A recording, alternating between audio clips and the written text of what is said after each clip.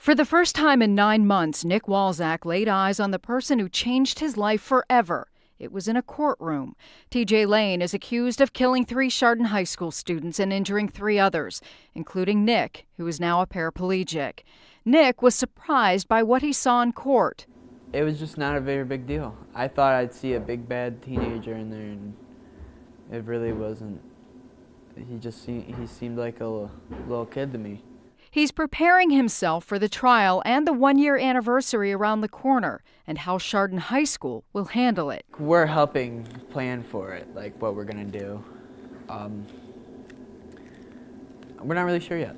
A bullet grazed survivor Nate Mueller's head. He and Nick have become best friends, and while they lean on each other for support, they're grateful for the community. I think the one year is going to be crazy.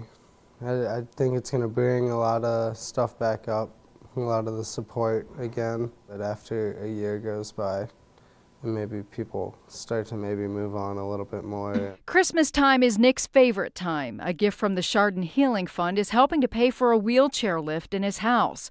Meanwhile, Nick is more in the giving mood this year. Um, I'm trying not to let it mean anything different. I want it to be a normal Christmas. I don't even know if I want anything this year. I just might give presents. I, I have nothing to ask for. I've received everything that I've ever wanted in my life.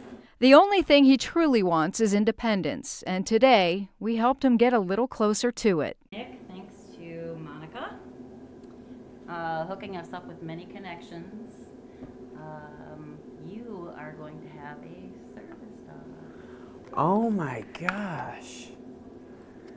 Really? He's a golden retriever named Turner and he should be ready in about nine months.